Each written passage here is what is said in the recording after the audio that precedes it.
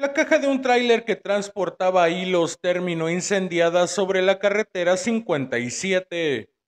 Los hechos se registraron en el kilómetro 192 del tramo Matehuala a Saltillo, donde se reportó un incendio de una unidad pesada, lo que provocó la movilización de los cuerpos de auxilio.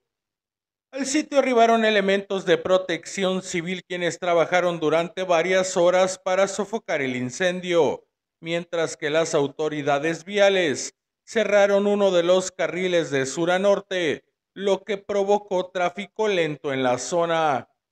De acuerdo a información extraoficial, el tráiler cargado con hilo para calzado procedía del Estado de México y tenía como objetivo su arribo a la ciudad de Monterrey, cuando el chofer se percató del calentamiento en las balatas, lo que originó el siniestro.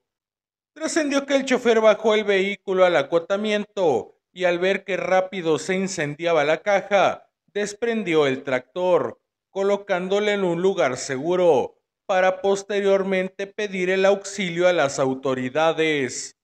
El lugar quedó acordonado por las autoridades de la Guardia Nacional de Caminos, quienes tomaron el reporte y llevaron a cabo las investigaciones con el objetivo de adjudicar responsabilidades sobre los posibles daños a la vía federal. Jesús Valencia, corresponsal, zona altiplano, noticieros Canal 7.